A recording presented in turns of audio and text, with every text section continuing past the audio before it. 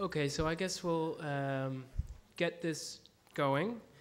Uh, welcome, first of all, everybody, to uh, the 2011 uh, arguments class for the summer. Um, we're now entering the second half of the class. This is an experiment, as uh, all of your instructors explained. Last year we did the uh, seminars on one week and the uh, lectures on another. This week we've brought those two halves together, doubled the intensity, as it were, uh, putting seminars and lectures together, which is in fact um, the ambition of the course to make the lecture series into something that is integrated with a seminar type environment. Um, of course, the ambition is to address cultural production in architecture that takes place in forums like journals, in publishing, in criticism, in exhibitions. Uh, and it's not only about those spaces, let's say, this class is one of those spaces, and it's you guys that are really uh, driving it. So, without too much uh, ado, um, I'll introduce our speaker today. We are, I'd say, exceptionally uh, uh, grateful and lucky to have uh, Tom Weaver, editor of AA Files, with us today.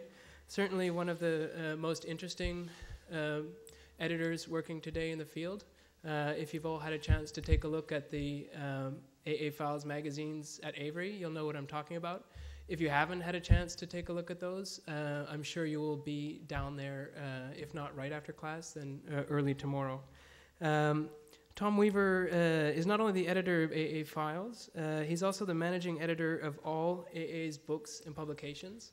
Um, I forgot to introduce myself. My name is Craig Buckley, and I am in many ways uh, doing a similar job to Tom here at Columbia. I direct the publications for the school in addition to teaching.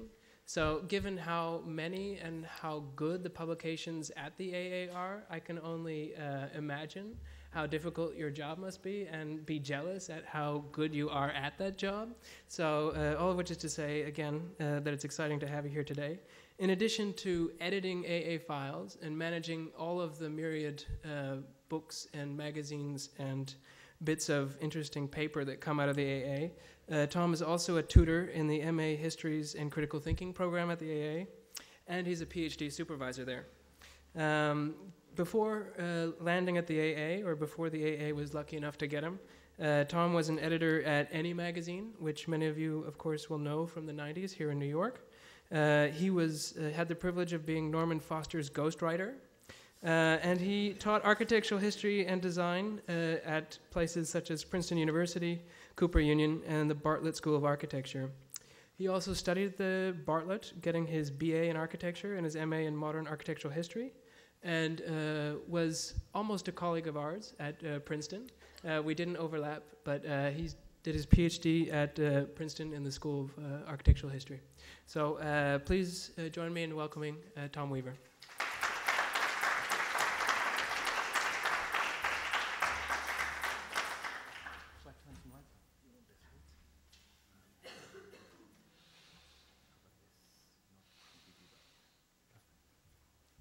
Thanks, Craig. Can you hear me okay?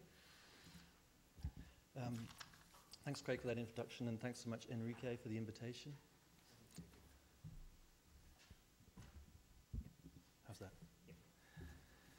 It's actually a real pleasure to be back here in Columbia, and it's also a pleasure to be out of the AA right now. The AA term is just about to end, and um, the students, the whole school is kind of enveloped in a kind of fog of plywood, sawdust, resin, that nasty powdery stuff that rapid prototyping models are made out of and other carcinogens.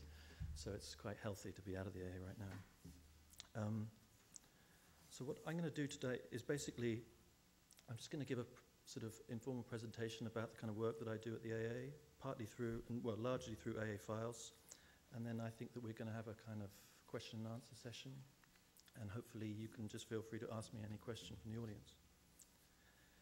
Um, so the, I'm basically going to talk about the sort of the written word and more generally kind of the importance of language and writing. Um, and I'm going to do that mostly through a kind of series of presentations on the idea of the editor, and more specifically on my work at the AA uh, and, and the journal that I edit, AA Files. And for me, AA Files and the AA school itself are inseparable. As I'll go into later, just as directors of the AA, as with many other schools of architecture today, have often imagined that their school is like a kind of magazine which they edit. I want to invert this by presenting my magazine as if it is a model for a kind of school, containing within it ideas for the writerly and visual presentation of architecture. So I'm just going to begin with this reference and an image of an editor. This is the French author, statesman, and editor André Malraux laying out page spreads for his 1947 book, Le Musée Imaginaire, across the floor of his Parisian apartment. It is an image that very obviously radiates a certain architecture, not only in terms of the elegance of its high ceiling Parisian apartment with its parquet floor and grand piano, but also the architecture of the diagram of editing it displays, of a certain genteel assurance and of a man calmly and confidently enveloped by his own creation. More fundamentally, it is also an image of the editor as accumulator. It is also very clearly staged. If you look very closely, the, the pages themselves are facing not Malraux but the camera. So he's clearly set, set the shot up. The image has been widely, widely used by a number of different authors, often to illustrate different things, but in the terms in which I am using it, the photograph is also drawing on a longer art historical tradition of the collector. This is a great painting by uh, David Teniers called Archduke Leopold Wilhelm in his picture gallery in Brussels from 1651. And it's in the, um, it's in the Prado in Madrid. So, in, in essence, this painting offers the same diagram of the gathering together of material, of the idea of sequence and accumulation, and the juxtaposition of, the thi- of one thing next to another, and of the incentive to make a selection and of choosing one thing over another all of these things are fundamentally editorial concerns. Implicit to both images of Malraux and of Archduke Wilhelm is a sense of the editor as connoisseur. Here's another image. This is Bernard Berenson in the Villa Borghese uh, from, in Rome in 1955. It's a famous photograph by David Seymour. And so, this image of the classic connoisseur, um, the art historian Bernard Berenson, with his sort of gabardine suit and his Panama hat, is also, in effect, an editorial diagram of someone both acquiring knowledge and reveling in their own prior knowledge. In this sense, there seems to be something paradoxical about editing. The conventional view of the editor is one that envisages the editorial mandate as one of shortening, of cutting, of removal and abbreviation. But as these images show, within the figure of the editor and the role of editing, there is simultaneously an opposing process, process of assemblage, of generating material, of collecting writers and images, of acquisition. Editing then does two opposite things at exactly the same time. Other than these cultural touchstones, which I admit stretch the bounds of who we typically understand as an editor, the image of the editor is strangely absent. Even though today everyone seems to be an editor, or certainly at the AA, where the assignation editor is used much more than architect, it is actually quite difficult to identify any editors. Even beyond architecture, there are not really many readily identifiable editors at all. One of the few is this woman, Anna Wintour, or Anna Nuclear Winter, as she is known to her junior colleagues at Vogue. The first person who pops up in Google Images when you type in editor. With her signature sunglasses and immaculate, crisp bob, uh, Wintour has become the defining silhouette or emblem of the editor. Wintour's great innovation at Vogue was the fairly mindless but remarkably successful device of putting photographs of celebrities on the cover of her magazine. Interestingly, this tactic itself has carried itself over into architecture, in particular the Spanish magazine El Croquis, which from the mid 90s onwards absorbed this cult of celebrity and transposed it onto architecture. And so we get these close up images, warts and all, especially in Zaha's case, of a new generation of architectural stars although this editorial and graphic conceit has also been easily parodied. This is the aspiring architect and sometime actor on his own fake El Croquis cover. The only other editors one could draw upon would be literary editors like this man, Maxwell Perkins, the editor of All Writers Talk About, who worked with Scott, uh, F. Scott Fitzgerald, Ernest Hemingway, and Thomas Wolfe. Or the filmic editor, Here's the terrific French um, filmmaker Francois Truffaut, um, shown alongside his hero Hitchcock, who, before he made any of his films, worked as a critic and as an editor on the journal Cahiers du Cinéma. And through this role, broke the established mold that editors never somehow overlap with artists. Or some of the great newspaper um, editors. Here we have the great editor of the Washington Post, Ben Bradlee, or rather, in the absence of the real Ben Bradlee, this is Jason Robards playing Ben Bradlee in the Hollywood expose of Watergate, All the President's Men. Robards presented Bradlee in what has become the definitive image of the print journalist, sleeves rolled up, permanently sitting behind his desk, foul mouthed but kind of paternalistic. This is a kind of more louche or kind of rakish de- uh, depiction of the magazine editor. This is, this is uh, Hugh Hefner, photographed editing Playboy in 1961, a kind of image that speaks for itself. For many editors, though, the definitive editor as hero is this man, Gordon Lish, who was the literary editor at Alfred Knopf in the 60s and 70s. And in this role, he edited a great deal of contemporary American fiction, including Richard Ford, Don DeLillo. In particular, though, he edited all of the writings of this man, Raymond Carver. Lish is famous for the extent of his editing. He was no copy editor simply correcting the spelling and grammar of his writers, but an editor who radically transformed the text in front of him. Here, for example, is, a, um, is, is Lish's edit of Carver's short story, Beginners, which Lish retitles What We Talk About When We Talk About Love. You can see the extent of his edit. He changes the names of the characters and trims down the text into what readers came to appreciate as Carver's characteristically spare and minimal prose. Lish became famous because after Raymond Carver's death, his widow published Carver's own preferred manuscript, with its original title, Beginners. And when, when you read it, you can immediately see that Lish's version is much better. Because of this, the story of Lish and Carver has become a kind of morality tale, endlessly preached by other editors to warn of the dangers of the unedited and celebrate those things only an editor can provide. In architectural editing, however, there's no such heroes. And this is in spite of the fairly remarkable fact that three of the greatest architects of the 20th century were also magazine editors. So we have Le Corbusier's wonderful uh, L'Esprit Nouveau, G magazine, which was edited by Mies, the first issue, and uh, De Stijl, which was edited by Van Doesburg. So, seeing this cast of luminaries as an architectural editor, one could easily get quite delusional about the magnificence of the practical, real architectural career that will follow your editorial one. Other more part time Editors I could think of would include Nicholas Pevsner, who edited the Architectural Review during the early 1940s, while the regular editor J.M. Richards was on active war duty.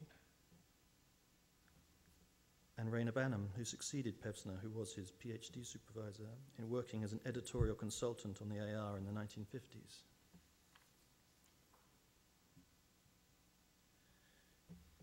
In English architectural publishing, the only really true and dedicated editor was this woman, Monica Pidgeon, or The Pigeon, as Peter Eisenman used to call her, who was the formidable editor of architectural design from 1945 to 75. Monica Pidgeon was absolutely no part timer or a designer earning some money before her career in practice took off, but a dedicated professional editor. These are some of the covers of, of AD in the period of her edit- editorship. It was the kind of great magazine to read in the, in the sort of 50s and 60s in particular. And it was through Monica Pidgeon and AD that you really saw the emergence of a kind of English pop architectural um, scene uh, of sort of Cedric Price and the Independent Group and uh, later in Archigram. Pidgeon was also very, very good at spotting talent. Almost more than the issues she published, the real thing she was editing was the staff around her. She had, for example, her art director was Theo Crosby, who did all these designs, who went on to found the design company Pentagram. And she um, hired as technical editors or her sort of assistant editors uh, Ken Frampton, Robin Middleton, and Peter Murray. Here's a very, very young Ken Frampton on the left, with Monica Pidgeon in the middle and Peter Murray on the right.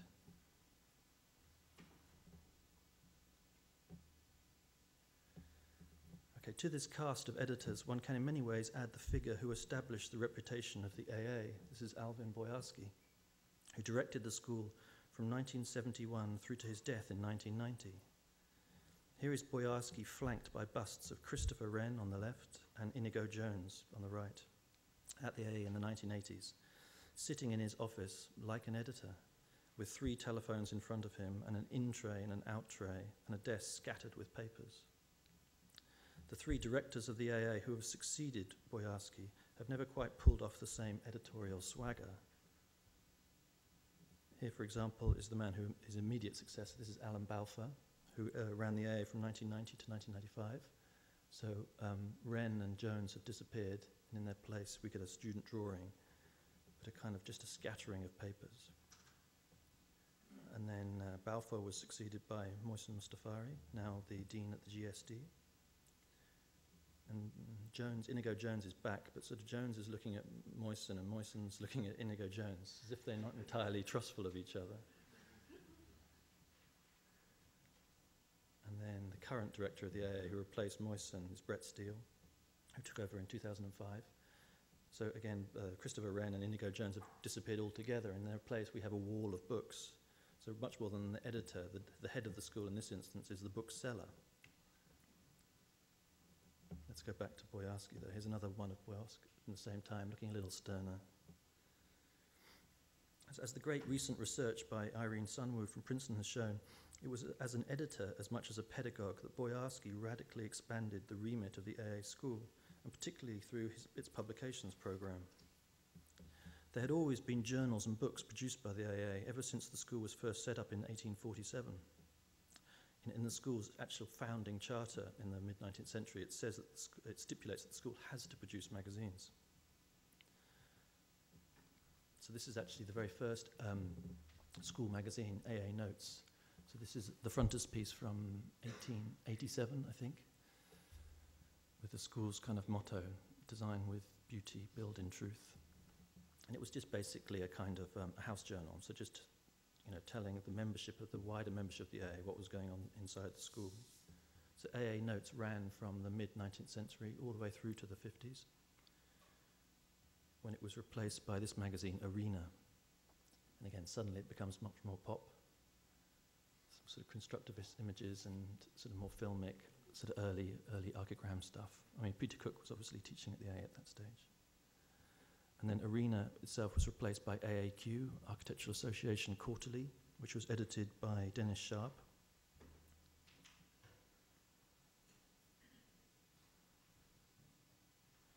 So again, as Irene has shown, Boyarsky even turned other aspects of the school into editorial projects.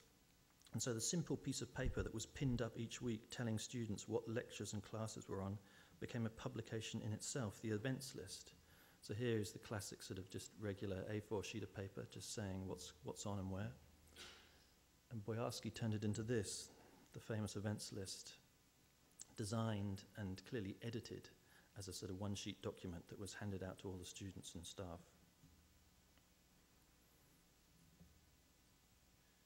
He also endorsed sort of more kind of satirical student publications. This is the Ghost Dance Times, which was edited by Martin Pawley, who was then a student at the AA.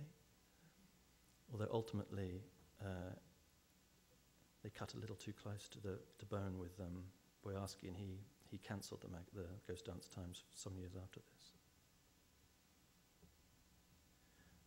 So then, after following the kind of removal of Pawley and of Dennis Sharp, Boyarsky launched his new magazine, AA Files, and he did this in 1981. The very first issue actually has two covers. Originally, he commissioned a cover by Nigel Coates on the left, um, but he didn't like the result. So then they republished, rewrapped the same contents with a design by Ron Herron from Archigram on the right in that kind of default architect standard silver sans serif.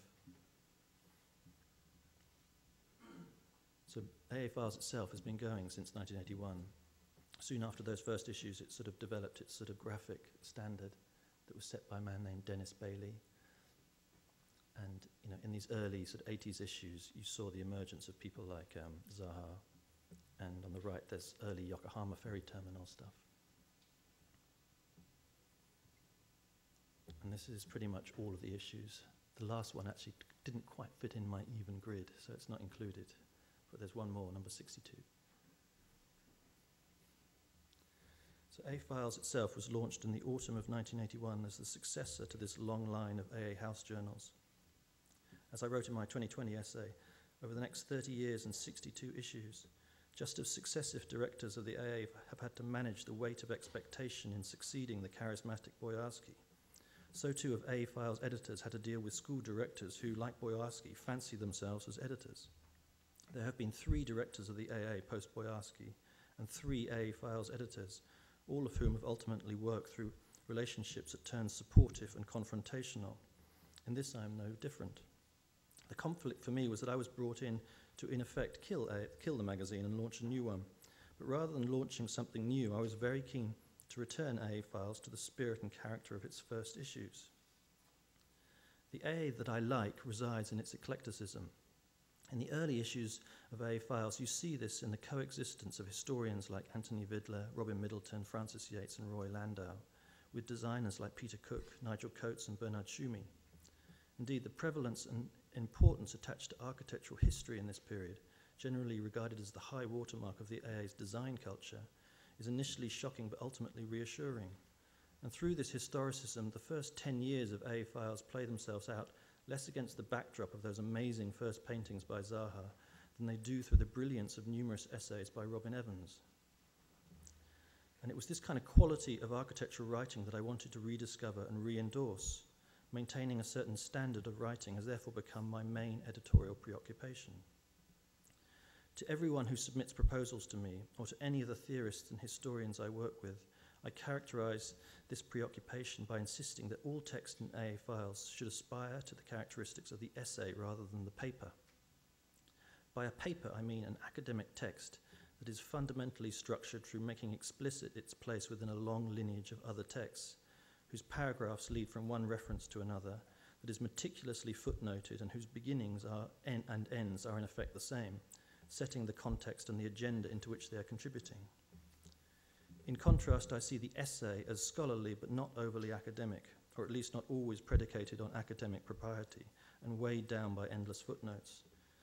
That is a bit more cavalier with its sources and references, that is less conciliatory and more iconoclastic, and whose structure is linear, not circular, so that the ends of essays offer ideas and subjects far removed from those introduced at their beginning. Essays almost invariably also have cooler titles than um, papers being a bit academic about this myself, I see these qualities as part of a long, particularly English essay writing tradition. It was, for example, the English 18th and 19th century writers William Hazlitt, Charles Lamb, and Walter Pater who really established the essay form, a tradition that a later generation of English architectural critics and historians all drew upon. John Summerson, Reyner Banham, Colin Rowe, Alan Colquhoun, Robin Evans all wrote almost exclusively in the essay form. When I talk to Alan Colquhoun about this now and about his allegiance to the essay, he always seems slightly nonplussed, you know, as if to say, what other, what other way of writing is there? But for me also that the essay is a form that works not just for magazine uh, pieces, but for MA theses and even PhDs. You know, I've long thought that the PhD as a piece of writing is about 150 years past its sell-by date. You know, it's a really terrible thing. And you know, every year I have to read these terrible PhDs, and I think one can aspire to something slightly more literary, so that one reads a PhD like one reads a novel. So, for, and for most of the writers I work with, it is quite a sort of wrench abandoning the kind of academic traits in sort of trying to produce something that is more essayish. So sometimes, in emphasizing the writiness of architectural writing, I have to do a bit of a Gordon Lish myself in really working with the text supplied to me. So this, for example, is, um, is an essay for Files by Pier Vittorio Aureli. And it's a bit mean of me putting this up because Pier Vittorio is Italian, so he's obviously going to need a little more help. But I often find that I have to, you know, it's the beginnings uh, and ends of paragraphs that I really work in. Too many academics write uh, sort of in, uh, atomistically, so each, each paragraph is like a little compartment and there's no flow in between paragraphs. So I'm endlessly having to work, sort of smoothing out the junctions between paragraphs. So, other than the sort of heavy Lish style editing, uh, at other times a more engaging and authentic voice can be achieved by relying on the spoken rather than the written word. People are generally more articulate when they talk than when they write. I think this sort can also provide a nice, nice counterpoint to the, for the mania for primary sources and the archive demanded by graduate academic research. In contrast, I think an oral archive, interviewing people and letting the idiosyncrasies appear in your text, is a more valid and achievable archival model than the unpublished manuscript. So these are, in, in every issue of A Files, I kind of commission a conversation. So these are just two of those conversations. One I did with Chris Pierce with um, Leon Krier, the sort of big bad sort of pantomime villain of architectural, of architectural design. And then my uh, designer, John Morgan, interviewing the filmmaker Sally Potter. So I'm very keen for these sort of these conversations just to sort of lend the magazine a slightly different tone and a different character. And, but I, at the same time, I don't want them to become formulaic.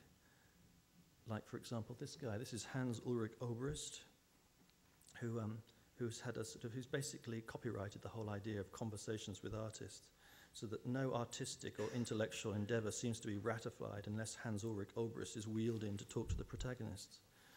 The, um, I mean, but all, lots of magazines now have conversations but um, and some more successful than others. But the ones I really like, especially, always used to like with the Paris Review, conversations with um, with writers and artists. But of course, alongside a kind of renewed emphasis on the writerly essay and, on the spoken word, the thing that helped me convey the vernacular, in all senses of the word, of A Files is its format and design.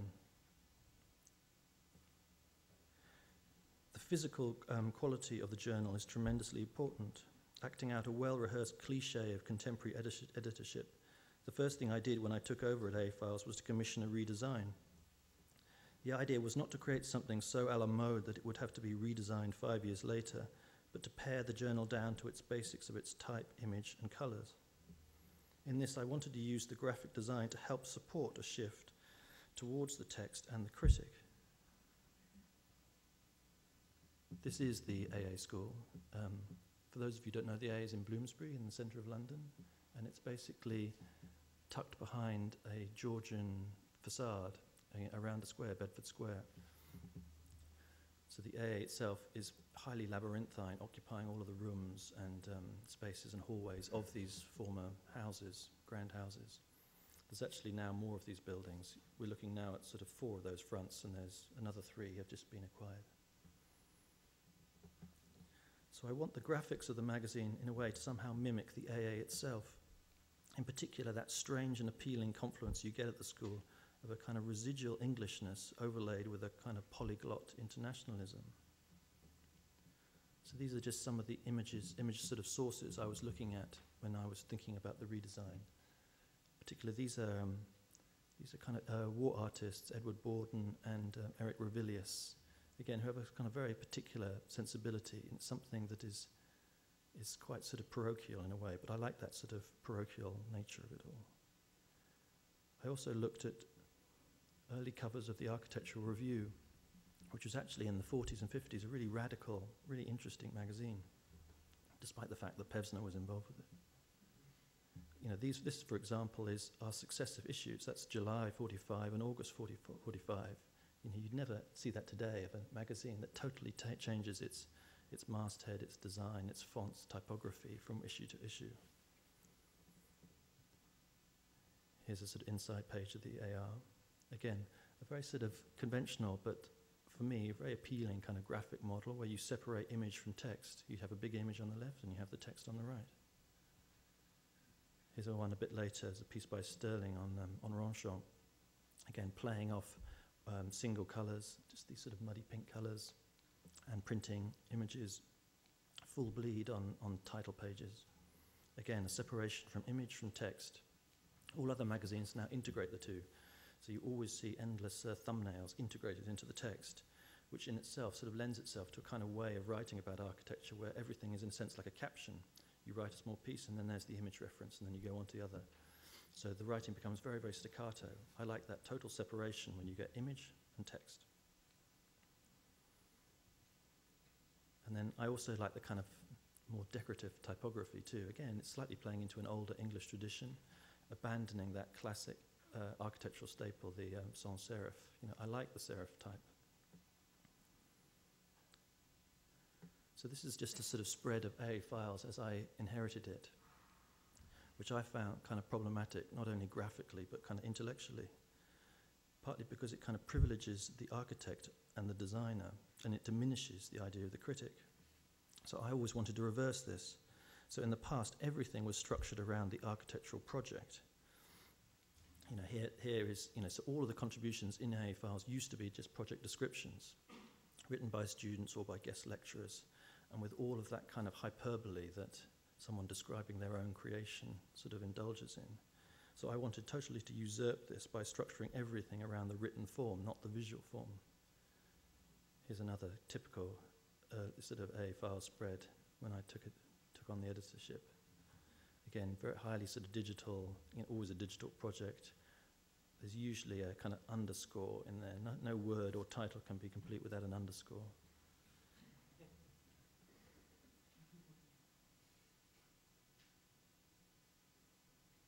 So rather than the architect on the kind of podium noisily declaring their position, I wanted to nurture more critics. Shadow, shadowy, polymathic, misanthropic, solipsistic, autodidactic, slightly grouchy figures, not, not writers who engage in all that kind of current nonsense of criticality, but writers who are, who are pro- properly critical in that they offer a critique, who criticize. So I actually, again, sort of to reiterate what I said before, that I found this in the earlier models of AA files.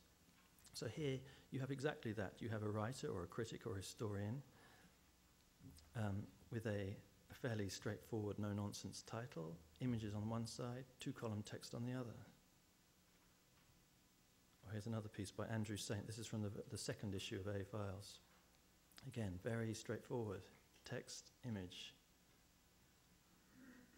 so I was just going to quickly rattle through a few spreads of A files as I've designed, as I've worked on it with my designer, John Morgan. So here, again, here's one of mine, very much in kind of reference to that sort of early A files model. Separation of text and image, just a two-column typography, a very sort of straightforward, no-nonsense title. This is about the uh, German architect Ludwig Leo. And these are the, um, each of the issues I did I also abandoned the AA, AA files tradition of putting an image on a cover, partly because I was just getting a barrage of people who wanted to be in the magazine simply because they wanted to be on the cover. So I abandoned that by making just these flat, um, uh, solid color covers with a kind of contrasting color as the table of contents and the contributors page. So I also readily indulge in kind of a mania for sort of florid typography so each issue has a sort of as a, a, font that is actually an abstraction of something else within the magazine, and they're used as these display display letters, display initials. This is a piece by psychoanalyst Adam Phillips. Here's a piece again by a historian. So again, I'm not. I quite like it when the magazine just totally abandons the image altogether. That's a spread of the magazine, six full columns of just pure type with just one a one-word title. Again, that sort of classic sort of mania for the kind of colon title, the title and subtitle is something I want to try and abandon, even though, as you'll see, um, some of them sneak in. But then when I do have an image, I want to use it big. So I use, this is the great, lovely shot of um, Oskar Kokoschka, the artist. From his sort of, he had a sort of eerie studio overlooking the um, Berlin Wall. So he was painting a famous painting of the Berlin Wall. So Im- images too, you know, as I discovered, you, everyone is basically charges you for an image now. So my line on that is if I'm going to pay for an image, I'm going to use it big. So I use it across the whole, whole, whole page. Again, here's another piece with more sort of display initials. Playing off these one color, you know, this is the signature color in the magazine as the last piece, placing images as line art just on this one color. Again, this is my sort of nod to those early A architectural review covers from the 50s.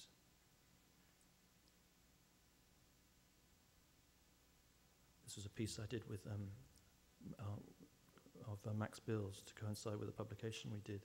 Max Bill famously never wrote in uppercase or used uppercase letters, so we had to set everything in lowercase. And the Swiss insisted on this. They wouldn't give me the images unless I, I, um, I said I was going to do it in lowercase. or when I'm doing another piece I, I did on typography and a kind of English typographic vernacular. And again, when I've got a nice image, I'm going to use it big across a page.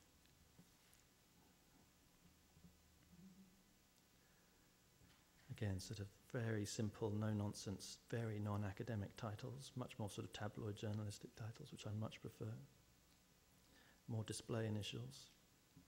And in these two, I play, Enrique would like this, I have to play a slightly kind of Oulipo style game that these display letters, the I, the H, the J, and the G here, um, I have a typographer who, gives me these, but he only gives me sort of six or seven. I can't afford a full alphabet. So, so I then have to edit the text to fit the letters he's, he's given me, which is actually quite difficult. And I, I have to do this without telling the authors because they just don't understand it at all. when I have to begin a pet sentence with a J. And again, when I've got a nice image, I use it big. This was a, a shot I took actually with an underwater camera um, to accompany a piece on um, a 1950s Swiss swimming pool. Photograph that very nearly got me into a fight with the man I'm photographing there, who was bigger out of the pool than he was there. And then finally, I've, these are just some other image references.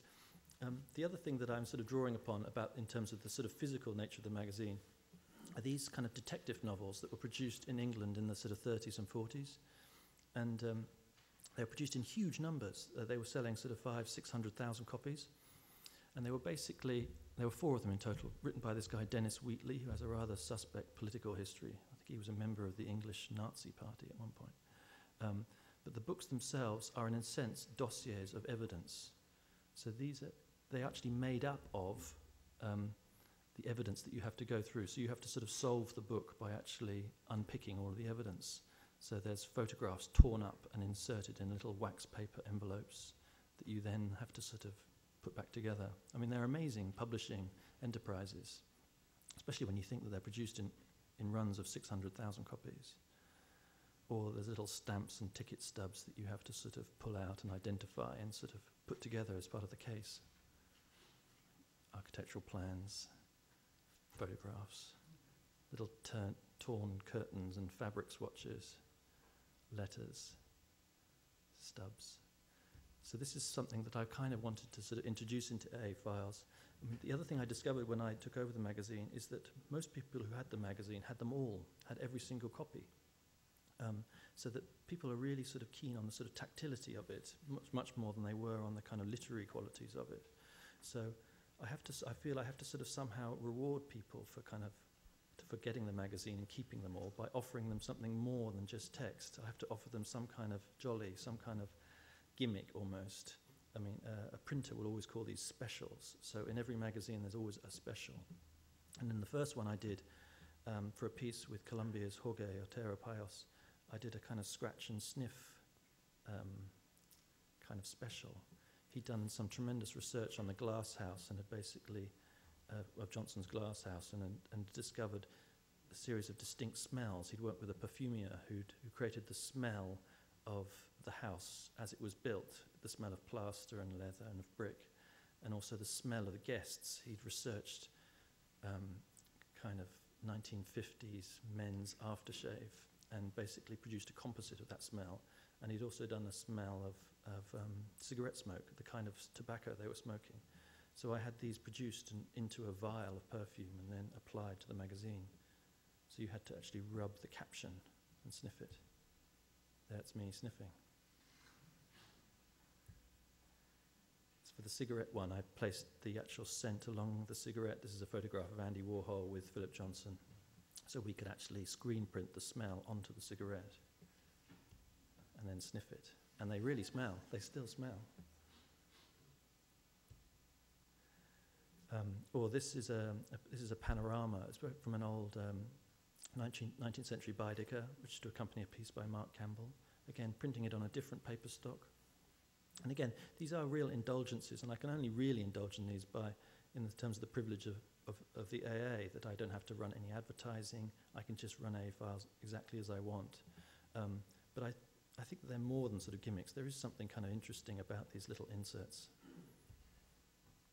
Here's another one. I, I ran a, a, AD, a section from AD magazine um, in its entirety, one-to-one scale, within the magazine.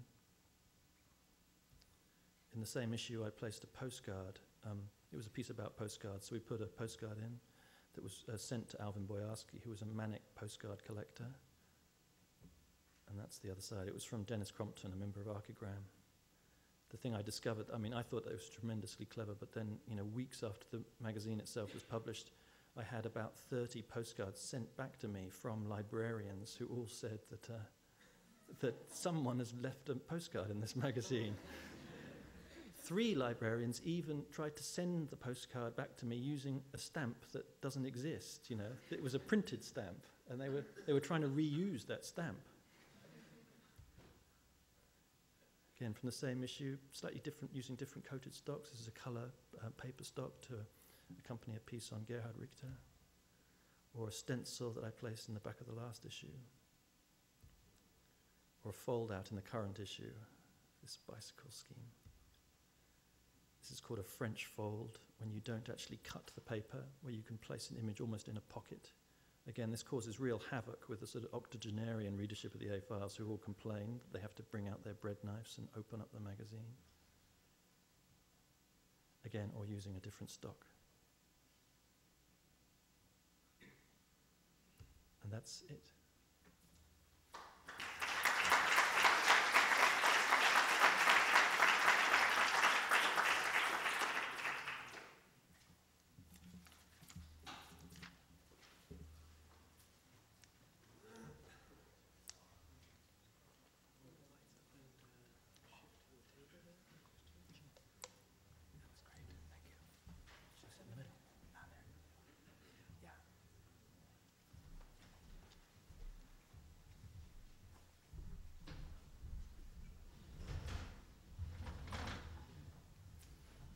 So, um, following the format of last year, we'll do a quick um, Q and A, as it were, uh, here at the table, just to really, uh, as really a process of turning it over to to the audience and to a wider Q and A. Um, thanks, Tom, for the presentation. That was uh, terrific.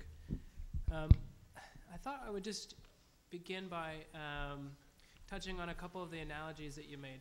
Uh, at the very outset of your talk, you, you pointed to the magazine uh, and its relationship to the school, and that you thought of AA files as a type of school. Um, and in the writing that we read this week, um, there's a real emphasis upon uh, both a particular sensibility for quality that you're after, and definitely um, an attempt to make writing the priority. But I wanted to push a little or dig a little on the, the kind of editorial process uh, not necessarily the Gordon Lish process, but in terms of issues. Like if, it, if AA Files were a school, what would the decisions be in terms of making the curriculum for that school? Like how does that kind of process work in terms of actually coming up with the, the foci or the, the, the contents of AA Files? Yeah, absolutely. I mean, initially it's, it's in the absence of a foci that there is no thematic is the other Mm-hmm. defining thing about AA files. Right. Again, and it's, it's an implied critique of the AA as I saw it, just as I emphasized the written word as opposed to a kind of visual kind of um, celebration. The AA has always been famous, famously good at producing images and less interesting for producing kind of ideas and text. Mm. So I just wanted to invert that. And similarly, um, the A was always good in the sense of branding whatever it introduced and giving a kind of thematic to that. And I wanted to abandon that and show that it was a more even, that it's a more kind of pluralistic and a kind of broader church of, Mhm. of ideas, all of which were interesting. Right, right. And in terms of how that actually comes together in the making of an issue, I mean, I understand the the kind of critique of thematics as a type of way of organizing a magazine. I think that's an interesting editorial argument to make today. But it's part, that's partly also because I got so satiated with the theme through working with Any. I mean, Right, it was great work right, editing Any, right. but Any was the definitively themed magazine. Right. And, you know, at that stage too, I was doing my stuff at Princeton and was attending all these conferences and was just getting slightly kind of consumed by, you know, these conferences always under a rather nebulous thematic. And then Mm. people present their papers, slightly allude to this theme, and then very quickly get onto their other stuff. Mm. So I'm like, well, you know, it's clearly a ruse, the theme. Why do you need it? So I just cut it all together. Dispense with it altogether. Right. But logistically, how I edit is just, you know, it, it really is just sort of grabbing anything I can or anything that I hear about Mm. that, you know, through my experience of, of um, studying and teaching in the States and friends I've made here. And then Mm. I have a kind of network of people I just phone up and or texts I hear about that other people are working on. Or but there's also the A has a huge public program of talkers who are always coming through the school. You know, Right. There's three or four events every week, Mhm. so I can just pick and choose from those too. So you're editing the AA in a sense. Uh, right? Well, like- it, it can it can the kind of cart can lead the horse at the same time, Hmm. but where you can you can commission a, a, t- um, a lecturer to come to the AA and give a presentation, and then you can grab that lecture afterwards as an essay. Mm. But you know, all of the, that's what's wonderful about the AA that you can actually initiate these things, but it just means there's more work.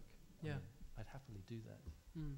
Mm. because the A files, as it was sold to me, was that they wanted it to be much more celebratory of the A in a kind of PR kind of way. So they wanted the the uh, lecture program to be in effect the table of contents, Mm. but I wanted to be free to actually choose anyone I wanted outside of the AA too. I don't like that kind of hard hard um, division between what's in and what's outside the AA. Right. I mean, it is a private school, and I think I didn't want it to become, you know, a sort of private members club. Mhm. Mhm. Right. Like, Pep, do you- Drawing, drawing on that, I mean, like, if we take a look to the first issue, uh, first second issue of uh, uh, the AA files, was intended to kind My, of my one or the first one ever? no, ever. Uh, the first ones with Boyarsky, uh, Robbie Middleton, and um, and all these people.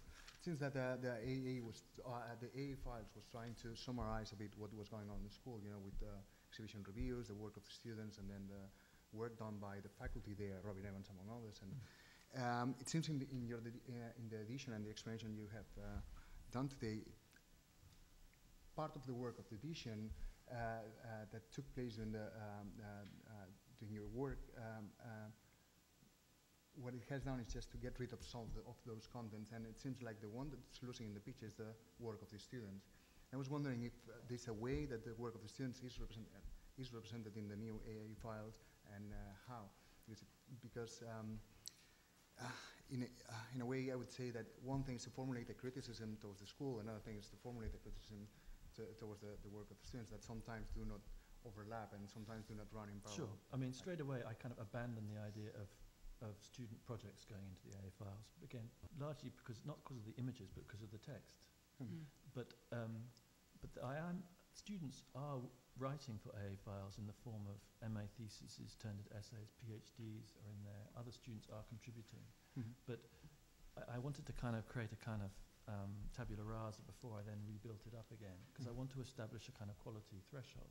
Mhm. Because again, there's a sort of culture of, of, of um, expectation where students produce an, uh, an award-winning design and then they want to expect it to see it in A files. Hmm. Whereas I want to, s- I'm only going to put it in A files if it's any good. But it's, but it's difficult for me. I admit that my kind of Achilles heel in this is how to absorb design projects in. So the AA files in the 80s was absorbing in work from Coates and Zaha and Koolhaas and all of these people. And I still haven't quite sort of found a kind of forum for that by insisting on the kind of the, the text. Do you think that this quality threshold is kind of achieved through a definition of what might be called like the, the figure of the public intellectual as opposed to the academic?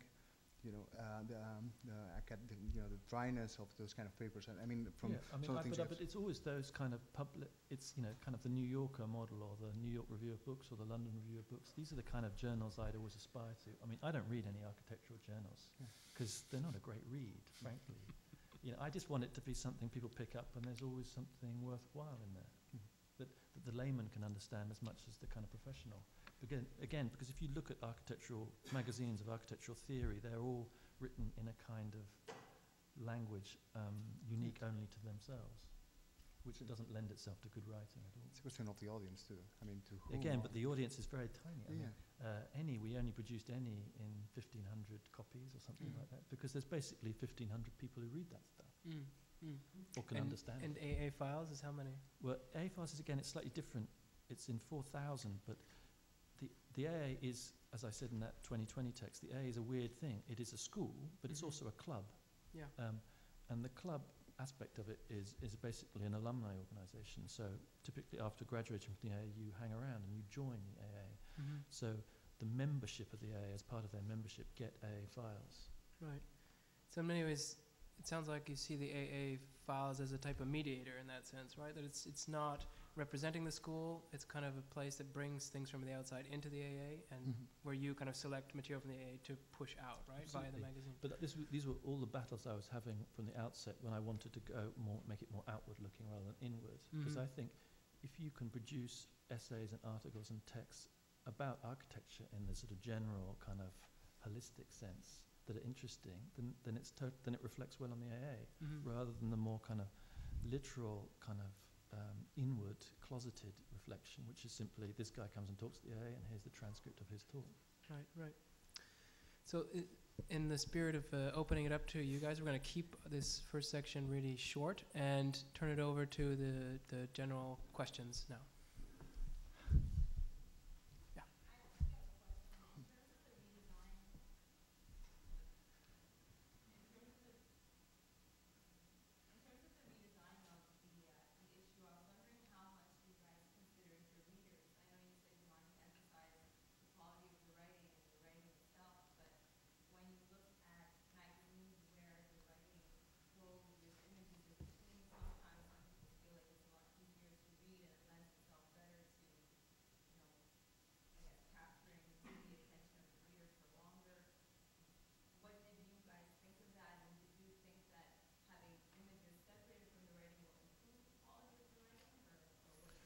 Again, I wanted to be deliberately kind of um, perverse in, in giving the AA something it had never had, you know, forcing you to look at just text, forcing you to read the text. I mean, it did cause certain problems that, you know, there's a lot of older members of the AA who are sort of squinting when I'm reading, when I'm setting out six columns of type at sort of 10, 9 point or whatever. Um, but but this is what you know a newspaper is set in. This is what the New York Review of Books or London Review of Books is set is set in that form. And it's it's not so much the kind of kind of pyrotechnics or the kind of the physiognomy of actually reading it. It's it's the culture that it brings forth. It's actually you know it's a flag. It's a flag that's suggesting that the text is is much more important than the image. And again, this is something that is it's it's going to take time for people to realize that and I'm being deliberately kind of fundamentalist about it but it's to I'm going to step back as well because you know I also logistically can't produce so much tech editing this amount of text twice a year There's a huge amount of work there's a hundred hundred thousand words of text in each issue so it's like doing a book twice a year but I think but that point I made about you know academic writing always being very staccato is I think has a graphic consequence in terms of text, image, text, image, text, image. Um, and I really just hate that model of academic writing. And it's also born out of that, that model where the actual act of writing is sort of incidental. It's a sort of scientific paradigm that you Mm. see all over PhDs now, where it's basically writing up an experiment. You know, you simply gather the material, you gather the archive, and then you just document the actual act or the history of the retrieval of that stuff. You don't Mhm. actually craft it into some writerly form. Mm-hmm. Mm-hmm. Can we pass the mic? Yeah, great. Just because we're recording all this.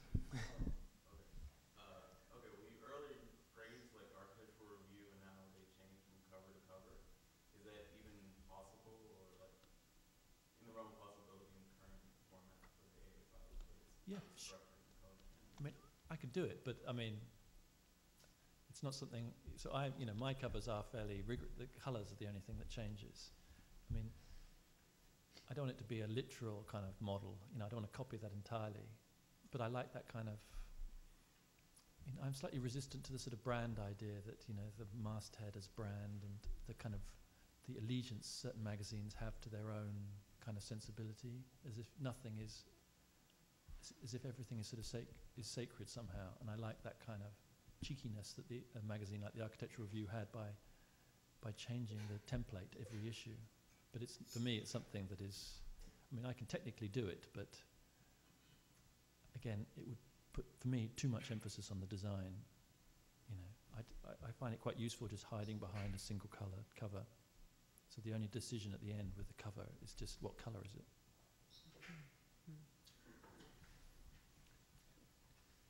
Um, well, that one works. Earlier you spoke about the editor as a collector, and this is touching on um, the point you made. I'm still interested in sort of what the agenda, the, the, the long-term agenda is, and maybe the editor as a curator, and sort of what your opinion about issue to issue, and you know where the future is for you and what you're trying to do. Well, achieve. again, curating is kind of one of those words like editing, though, that's kind of overused a little bit. Um, and, you know, you see it everywhere now. The, uh, people talk about curating a project instead of designing a project. They talk Mm. about, you know, um,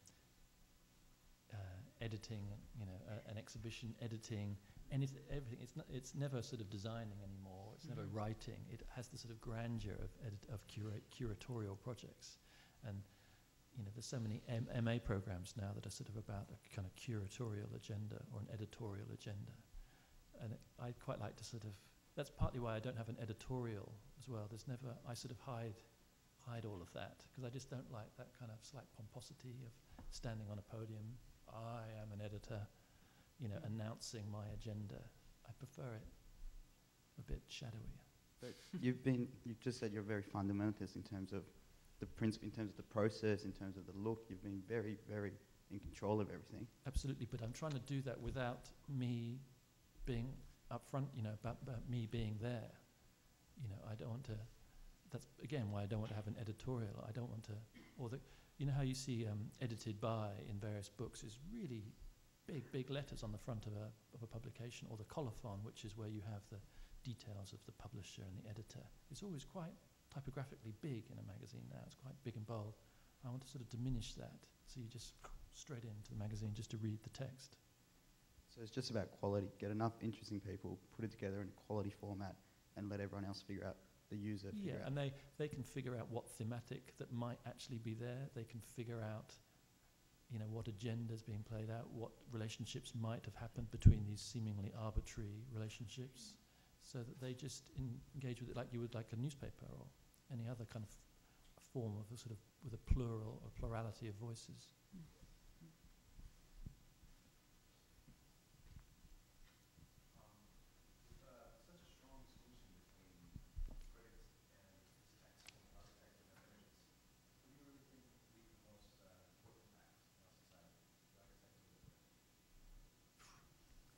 Um, yeah, big question. I mean, uh, as an ar- ar- architectural society, Maybe you should repeat the question. I don't think we heard it. Uh, I don't think we all heard it. Okay. Shout it out. Yeah. Chuck that other one. It doesn't work. Um, eh, with such a strong distinction between the critics and their text and the architect and their images, um, who do you think really leaves the most lasting impression on our society, the architect or the critic? I, I, well, I've never really thought about it as a kind of as a kind of competition. I mean, I'm just. I mean, I'm I'm not an architect. I train as an architect, but I'm I'm I'm a critic really, and I've always. And again, it's partly an English thing, but much more in the States. When I was studying in the States, architectural history and theory and criticism is is much more present and central to the teaching of architecture because you know, America is basically built by builders, not architects. Whereas in Europe, the architect as practitioner is a much, much stronger entity. So all design schools in Europe are all about design and very, very, very peripherally are about history and theory and other critical disciplines. Um, so it's a totally sort of separate world where they're much more integrated here. Designers and historians and critics are much more integrated in the US than they are in England. So it's a, again, it's a sort of provocation when you know, architects have their design magazines with pictures of buildings that they curate and they, you know, they stage every aspect of it. Indigo skies, car tail lights disappearing off, long shutter speeds, total absence of human life form. You know, they're controlling that whole thing. You know, I just, that's not a world I want to sort of take, get into, you know, or, or compete with.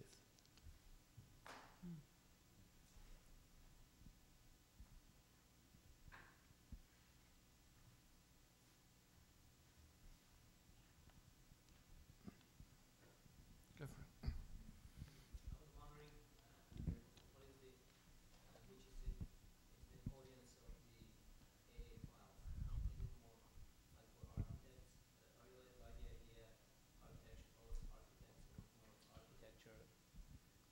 for, for all, for people? Well, kind of logistically, it's for it's for the students and the members of the AA. I mean, they're ninety percent of my readers, so there are people with an architectural training, or students or ex-students.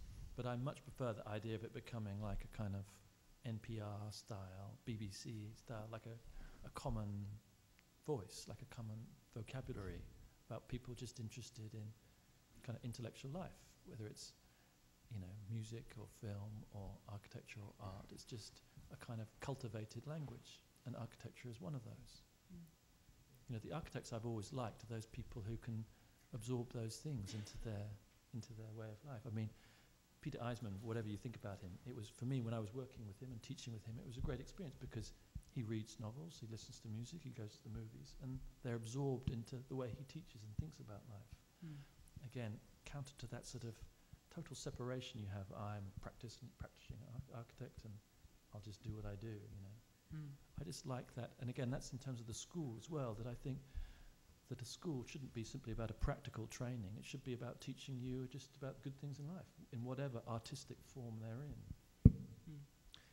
I mean that. I mean, just building on that question about the the audience, and maybe the question is not audience, but of a certain kind of public. Let's say. Um, in in the 2020 piece that we read, there was an interesting moment where um, you played off uh, criticality, which you question as a kind of self-nominating uh, gesture, and literalism as this sort of Peter Cook stands in as the figure of we just need to get back to the objects.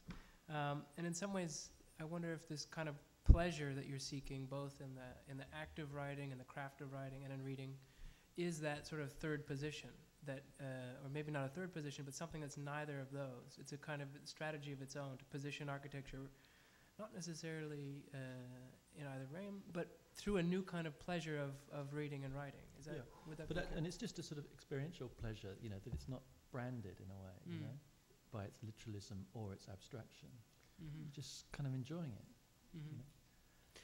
But that's independent of any kind of other overriding agenda, right? I mean, is the is the pleasure sh- purely a kind of pleasure principle approach, or is there is there something that No, but there's also kind of a pedagogic agenda going on too. That, Okay. You know that partly because also I'm drawing on a lot of graduate and doctoral research. You know, there's Mm. a lot of these essays are coming out of chapters from PhDs and stuff Right. like that. So it's also also a reflection on whatever cu- the currents of PhD writing is. Okay? So, but I'm I have to slightly you know smooth out the form of that. Yeah, yeah. So it's a mediation between that realm of research and a kind of aspiration towards a wider public, right? It's But actually, it's the, the, the more literal is the more difficult for me. You know, I'm, I would happily kind of put more people in front of an object and encourage them to write about that object Hmm. and send it to me. But people are much, or the, the, the writers I'm dealing with seem much more willing to deal with abstract things. Yeah. So in one sense, I agree with Peter Cook that I think getting back to things would be rather more interesting. Mm-hmm. And I, I think it's a nice exercise, you know, parking yourself in front of a thing and writing about it. Hmm. Hmm. Um, hello. Uh, I suppose that your goal, as every editor's, is uh, is to to to be read as much as possible. I mean, uh, somebody who reads a magazine of AA Files uh, can view an hierarchy in the in the text style, which is uh, limited. Excuse me for the word that I'm using uh, to the use of a title, uh, a caption, and a text. Uh, for example, you don't use any big letters which uh, make a resume, a resume of, of the text. Uh, and I'm wondering uh, if, in in this way, if uh, you think that uh, more uh, articles may may be read from the reader. Um, I, I, am trying to explain myself. In nowadays, we ha- we have uh, we don't have much time as readers. So if you just flip a magazine which has uh, a text style more like uh, content, uh, putting con- um, the contents quite bold, uh, it gives the opportunity to the reader to decide which uh, subject uh, interests him and uh, spend more time reading this article. In, in, in the other way that you are using, maybe the reader needs to spend more time to read more things. Which Yeah. is your goal? The latter. I want people to spend more time reading things, but I also I don't want to ma- make type and typography masquerading as images. You know, as you said, just setting setting type in big bold letters, describing in, in a summary in a synopsis what the article is about. I just want them to start reading it. If they don't, that's partly why I really pay attention to the beginnings of an essay. The beginnings should always get you in. You know, Mm. like a novel, they should Mm. just get you into the text. And if they don't, then then stop reading. Read another one. you know, just like any like any novel, you wouldn't continue to read something that isn't kind of you find engaging. But it's also a response to that kind of academic tendency in all theses or PhDs where there's that really interminable beginning where you say what you're going to say.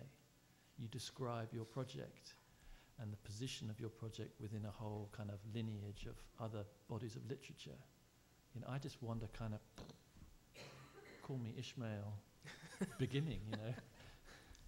I want, I, it's much more literary paradigms I'm aspiring, you know, I'm following.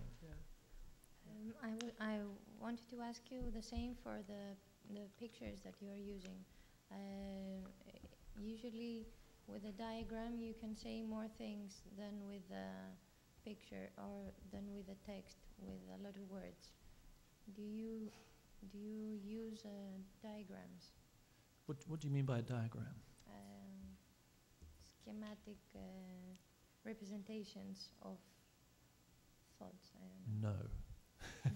it is just generally, you know, you know, I'm not. I don't want to present myself as too much as sort of Al Qaeda of text here. You know, I, there's still packed full of images in, in AA Files, and you know, the image is still vitally important. But it is also that you know, images now always have a price mark against Mm. them, and you have to pay for images and pay a lot of money to get images and publishing and copyrights to clear those images.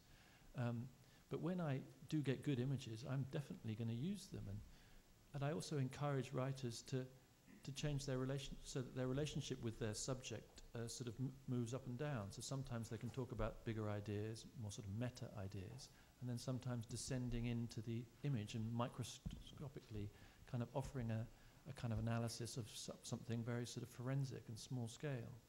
I think all writing like is is actually has a sort of strange sort of um, varying kind of distance to the thing that it's actually writing about. Mhm.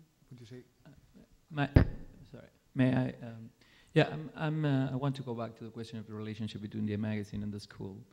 Um, I'm, I'm utterly surprised with the amount of times you put your first person to start a sentence when you talk about a magazine. And When uh, I put a first person, you you talk in first person about your, your, it's basically your magazine and your taste and your decision, uh, almost in every other sentence.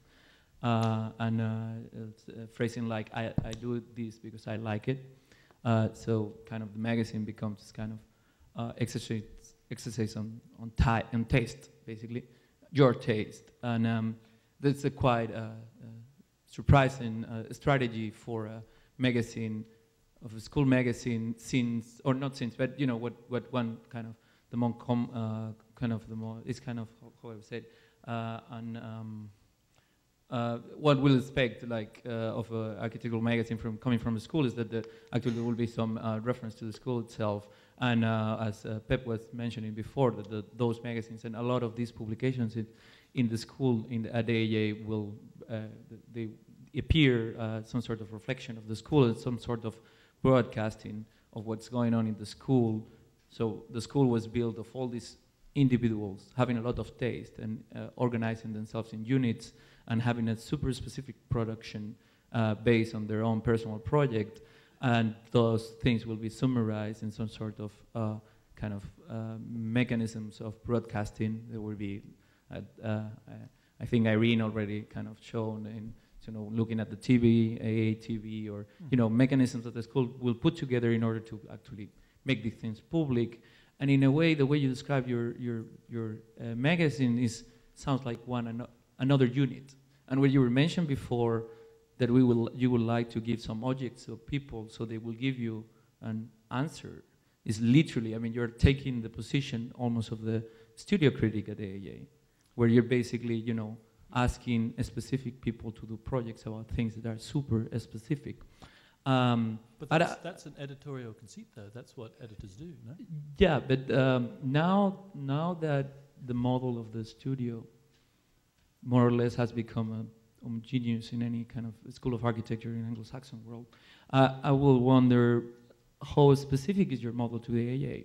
So basically, how difficult will be for you to actually do exactly the same magazine in any other school?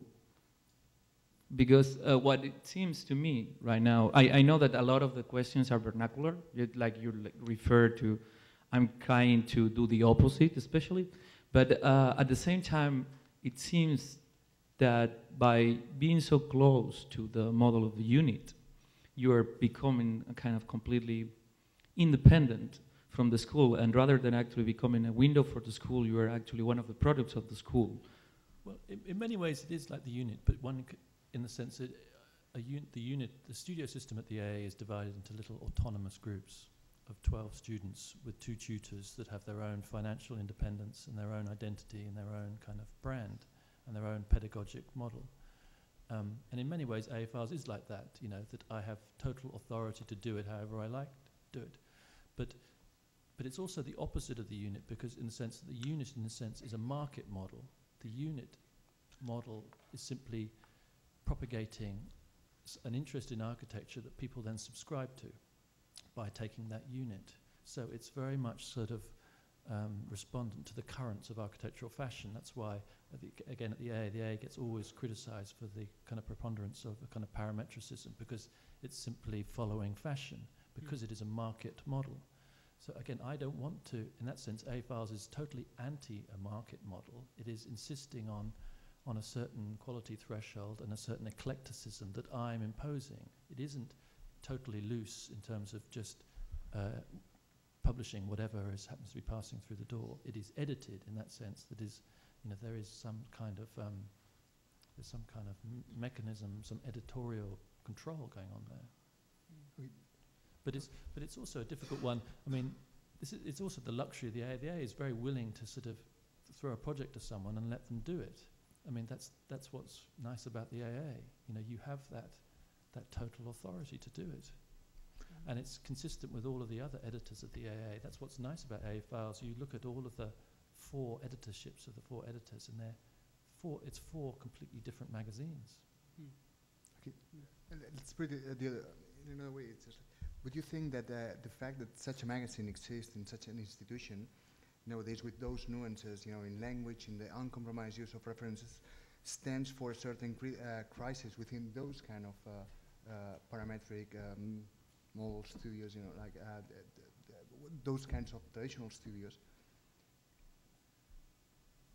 Well, I, I like provoking. I mean, it's like bear baiting. It's so easy, Yeah. you know, provoking a parametricist. Yeah.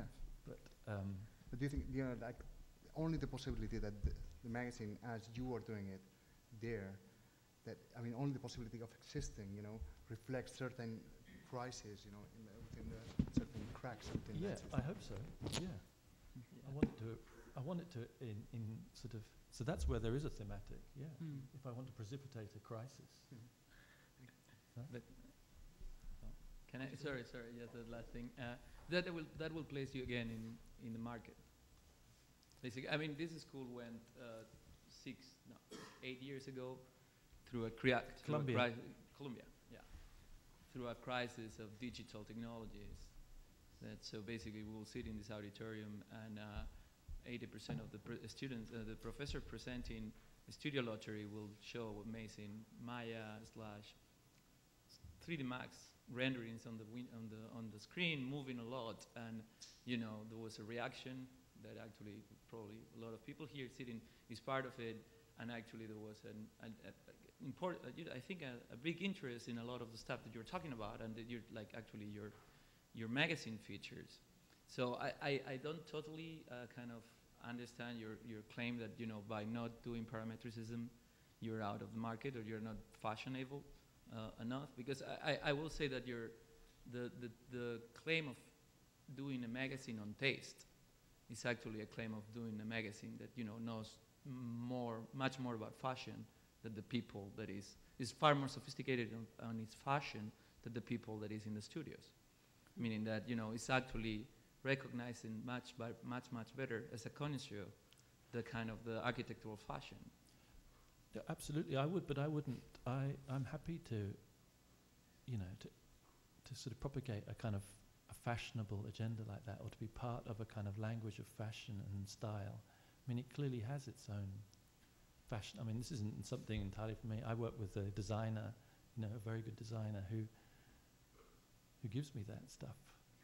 You know that, but but again, it's just it's just such a nice provocation. You know, give again the A was it was always monocultural, and I think it's becoming more pluralistic. It's becoming more heterogeneous, and Mhm. I think uh, AA Files is absolutely nothing isn't, isn't leading that, but it's it, it's, there's going to come a point fairly soon when I can start to engage with the school again. But I don't want to do that in terms of, hey, everybody, I'm engaging right now. You're allowed into the magazine. You're now worthy of the magazine. I think it should always just pick up upon what's interesting and what's good. Question in the front here. Uh, how independent are you from the school agenda and how far goes your freedom of speech? Um, fairly independent. Um, I mean, I've, I'm given a budget, and I'm been told to produce two issues a year, and that's it. So I don't, I don't, sh- I don't have any editorial. It's not peer reviewed. I don't have any editorial consultation. I don't show layouts or potential tables of contents to any other authority. So I just do it. I mean, it's partly to kind of um, play off the kind of main, you know, the A, like any other institution, likes production. It likes stuff. Mm-hmm. And it, if you produce a spine of a book or a magazine, it's it's more stuff. That's And the I'm- prime stuff when under Brett's in that picture. It's all spine. It's right? yeah, it's it's spinal. it's almost like one of those lawyers' offices where it's actually not real. You know, it's like a kind of wallpaper of spines. But but he's also you know very supportive. So he likes me and he sort of trusts me to generate the stuff. Yeah. to what extent he engages with it, I'm not sure about. But he gives me carte blanche to just to do that. Yeah. But it's you know it's a ticking clock. You know someone's gonna come and get me any moment. This is a Is there question. any censorship from your part? No, none whatsoever. Well, there was once, but uh, Oh. yeah, when I um, wanted to publish a critique of an AA exhibition. Uh, tell us more. There was, there was an AA exhibition on graphic design, curated by the art director of the AA, and I hired a writer to write about it, who criticised it, and that was pulled. Hmm. That was the Forms of Inquiry exhibition. Yeah. Yeah. Interesting. When during the process was that reviewed and pulled? What's that? It's quite close. When during the process was that reviewed and pulled? If you said you're totally autonomous. Yeah, that was actually in the very first issue I did. I mean, the very f- before the magazine was redesigned, I did two issues under the existing template just to kind of find my feet. So Mm. that was in the first issue. Mhm. And has it? Con- uh, I mean, has that at all um, dissuaged you from dealing with? Let's say there's another exhibition at the AA that you would be critical of. Um, do you now kind of uh, shy off of that, knowing that it's going to be a bit of a hot potato issue? or- Slightly, but also I slightly shy away from the idea of, again, it used to be arranged by, in a sort of tripartite distinction between projects, reviews, and lectures. Mm. Uh, and, you know, the back of the magazine was always exhibition reviews, book reviews, and I just found that slightly pedestrian, so I've got rid of all of that. Yeah. So I don't really commission any reviews of any AA exhibitions. I just Right. don't think it needs that publicity. Right. Right. Just end run around that whole issue. Yeah. Yeah. Um, editing an architecturally focused uh, magazine, how do you draw the line of distinction of what's uh, architecturally relevant? Um, well, I just, I just put stuff in that I think, you know, if people have got a good idea, if there's, if they're onto research that I find interesting that other people aren't doing, if they're using image archives that haven't been published before, if they're addressing certain you know, buildings or artifacts that I think are worth addressing. Um, if Mm, is there are people within the AA who I think need, have got a voice and they need to find their voice, these are all the kind of criteria I'm kind of employing.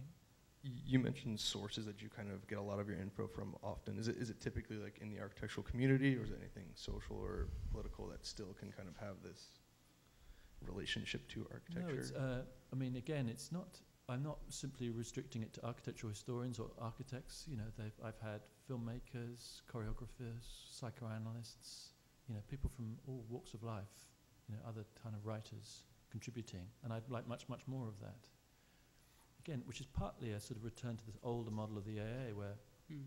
the lecture series at the AA was not always the great hero practitioner. Mhm. I mean, now at the AA, when Rem or Zaha lectures, they, you have them queuing around the block. But when you have, you know, a rather avant-garde, you know, writer or a political theorist, you get four people there. Mhm. But I think, again, that's why it should be an academic diagram. You should place in front of an audience someone who you think will be good for their education, you know, that's Mm. going to give them some good ideas.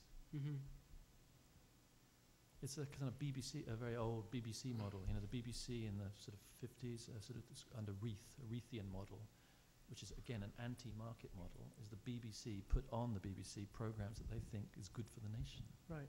Which included lectures by Pevsner and others, right? Architecture was part of that general conversation. because it was yeah. part of a kind of cultivated conversation of the arts and the humanities right. as right, one of those things. Right. Right. So, uh, do you feel like it's somewhat limiting or resistant to change? The fact that it's so prescribed by one man, you know, like being you and as the editor, like as far as the paradigm and like the shifts that occur in architecture and you Um, know, like when there's a need to make a major shift in aesthetics or the content, the fact that it's driven so hardly by you. But how would that, I mean, I, how would that sort of moment appear to me? Do you think there's going to be a kind of road to Damascus experience of a kind of ray of light and a kind of new architectural moment? No, I mean like I feel like um, sorry. I feel like that's why I feel like uh, a lot of editors are a little bit uh, um, hesitant to be uh, very forceful about the content because they're scared that there there might be some issues or some conversations that they might miss. So there's a certain level of diversity and you know and kind of a hands-off approach, whereas you seem to be very kind of specific and rigorous about what you find interesting and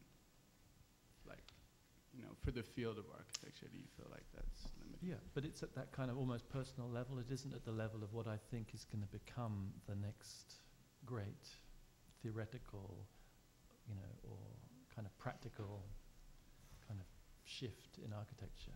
It, uh, it, it's not doesn't it's not a sort of religious kind of experience. I'm not kind of a prophet. And you know, again, this is what the architectural theme. I mean, volume does this all the time. It's basically, hey, this is what's around. You don't know it yet, but we're telling you this is Mhm. coming your way. Mhm. You know, the whole kind of propaganda associated with AMO is about telling you what you don't yet know, isn't it? Right. What's around the corner. Mhm. It's a crystal ball model. I, again, life's too short. But let's okay. I don't want to be the defender of volume because I'm not. Uh, I actually have nothing to do with volume. But uh, for the sake of argument, um, let's say that you know one of the arguments uh, embedded in that is that the the kind of distributed editorial model that volume has between an office, uh, a cultural institution like Archis, and a school like this, uh, would be precisely to argue that um, it's the job of those organs to identify areas of relevance to architecture and to make those broadly accessible. No, I really like that diagram, and I think what uh, Inaba was saying in his, his, his own 2020 piece is all Mhm. really spot on. I don't have Mhm. any issue with that. Okay. But it's not necessarily something I would run to the newsstand to buy. Right, right, But I think it, it's a totally valid model. right. It's just not your model. It's a kind of you're trying to articulate Exactly. a different model, right? Again, Yeah. one of the pressures on me, people kept s- saying, hey, why don't you do a guest editorship? Why don't you invite certain people to guest editor, Mhm. edit the thing? And I'm, you know, Unthinkable. no! out of my cold dead hands. okay. Cesare. Uh, one more question about uh, editorial choice. Um, you have mentioned uh, news organizations. You have mentioned news organization uh, PBS or BBC or even the Hollywood version of uh, the Washington Post editor, and I'm wondering if uh, you ever feel as an editor a, a sort of responsibility of the kind that the news editor would have, uh, in the sense that there is something out there that you have to document anyhow, whether you like it or not. So if you Mm. want beyond a question of taste or what you, or even what you find interesting, uh, but if it ever happens, a situation see- where let's say something is uh, news, uh, let's say, or even something ugly, but that Well, so uh, my answer to that, I mean, that's a key question, and it's something, it's a real moral dilemma to me, and it's, the answer to that is, it's the Patrick Schumacher issue. so, Patrick Schumacher is on a kind of global bender right now, kind of propagating his book on, and his, his sort of, his, his agenda of parametricism. So he's giving this lecture. He's produced this book, which is flying out of the AA bookshop. I mean, Hmm. thousands of copies are going. Everyone carries it around. At Princeton, everyone used to carry around Thousand Plateaus and uh, Right. Capitalism and Schizophrenia, and now it's just everyone has Schumacher's book. Wow. So I'm like, what am I going to do about this? You know, Mm. do I have a, get a hire someone who really takes into pieces? Do I have some kind of engaged debate? I mean, it's a real problem for me. You know, what am I going to do? Mm. And I haven't sorted it out, resolved it yet. Um, but I'm going to have to. I'm going to have to commission someone to, to write about parametricism. I mean, the kind of safe choice is you go for a kind of Bernard Cache kind of response, where you, you in a sense position it historically, where you talk about the computational through architectural history, where you have an essay about Vitruvius and you show that these people's ideas was actually grounded in something rather more kind of fundamental. But I think it's too easy, easy an option. Right. You're looking for something more sharp. Yeah, well, if anyone wants to write a piece for me about parametricism, I see a few Oh, people ship it in. volunteering already. Um, two questions here, and one in the back. Uh, three, no?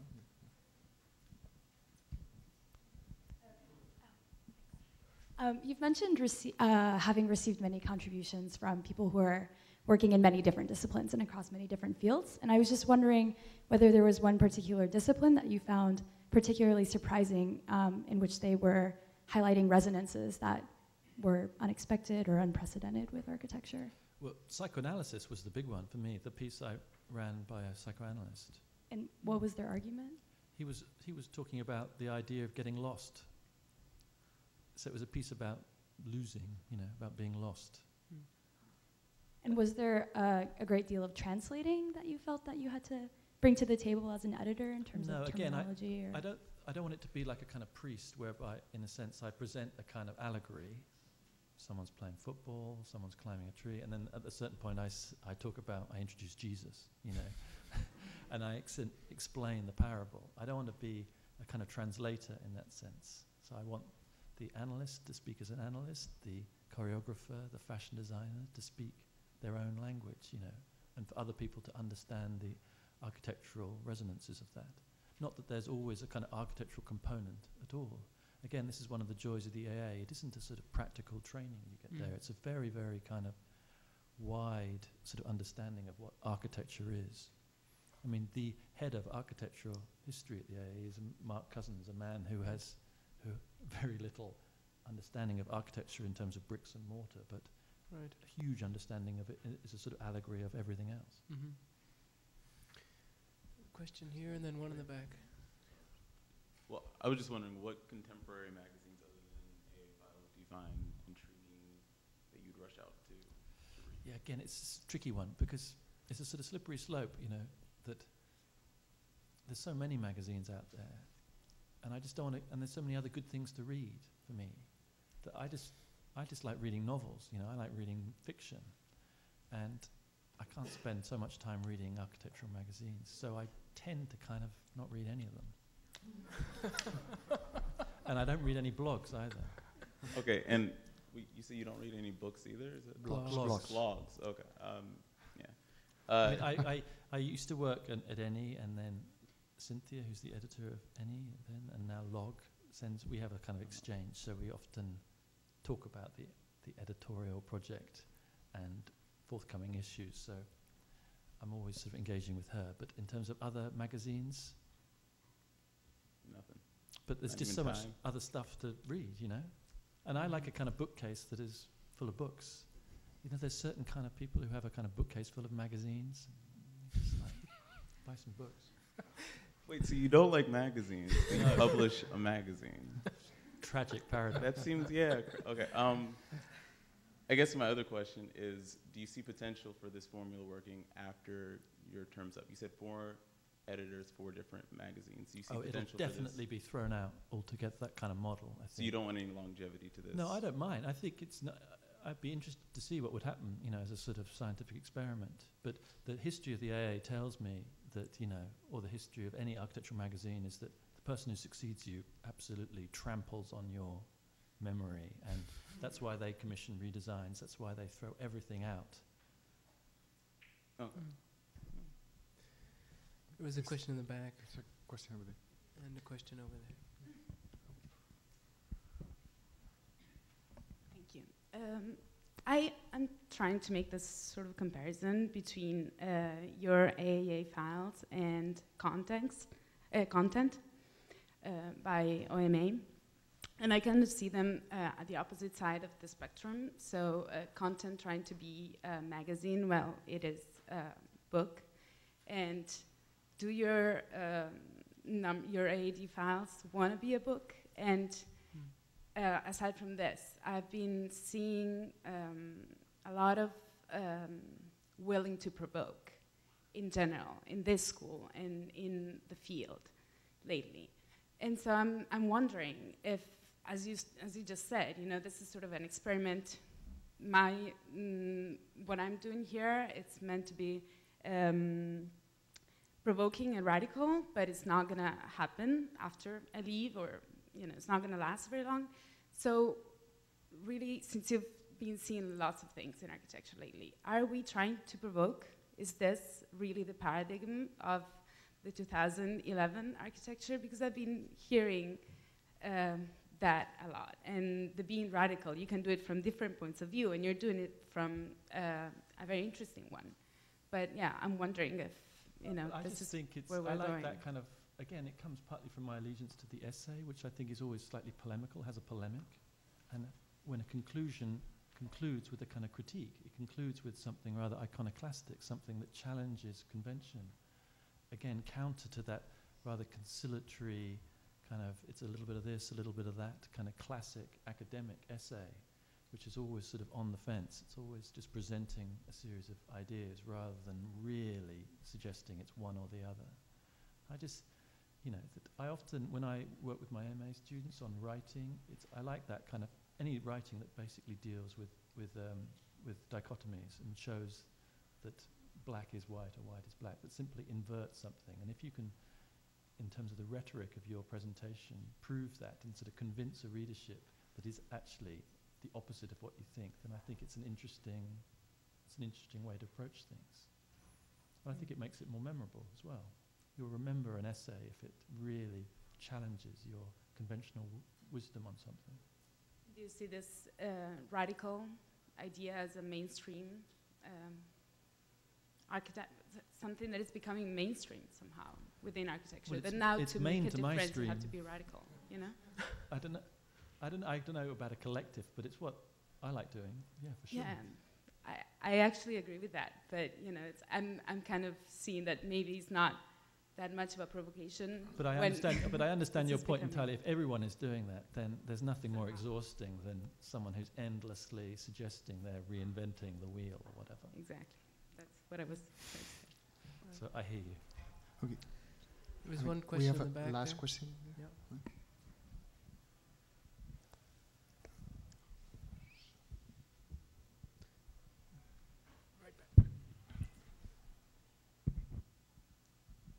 Uh, thank you for the uh, lecture.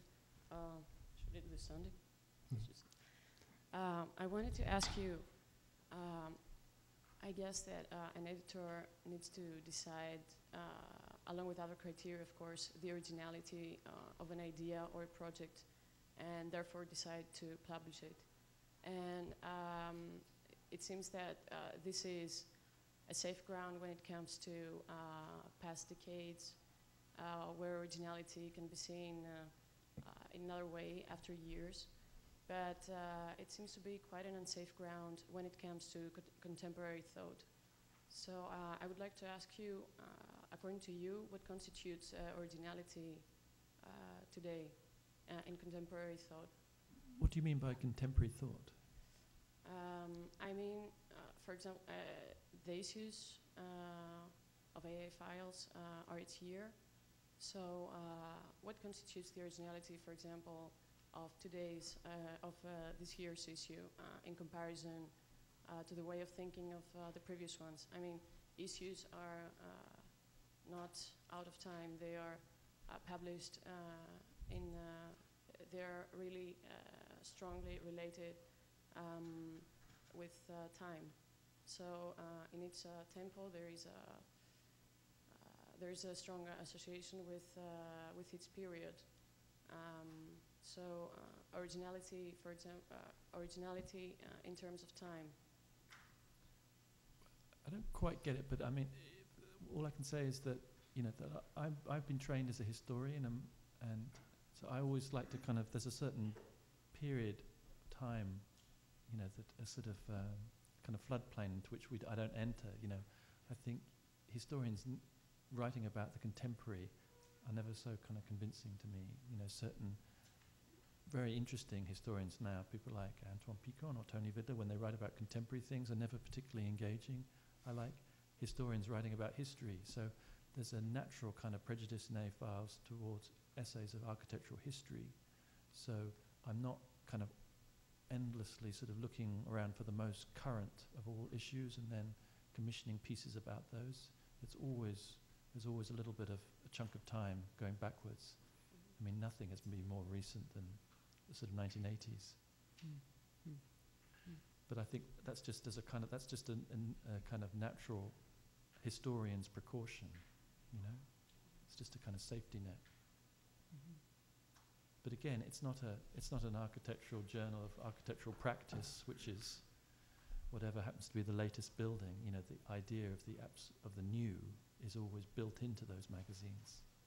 It's not a journal about architecture and about building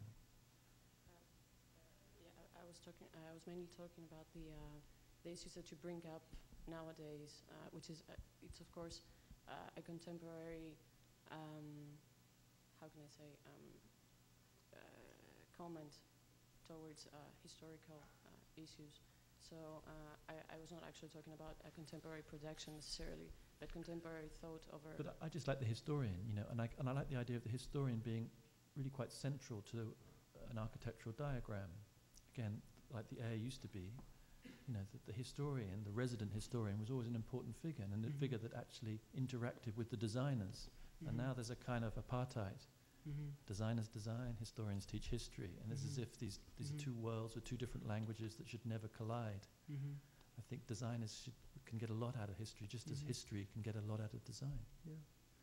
And if you think of, uh, I mean, if you think the history of 20th century architecture, it would be unthinkable without figures like Giedion and Banham, who were both historians and related to design, right? Who played both back and forth between architects and designers. So there's a long history of that. History is always, in some ways, the writing of history is always contemporary, right? Uh, but anyhow, we should pull this to a close, our first session. Um, thank you all for your questions, and uh, thank you especially to Tom for uh, coming to present with us today. Great. Well,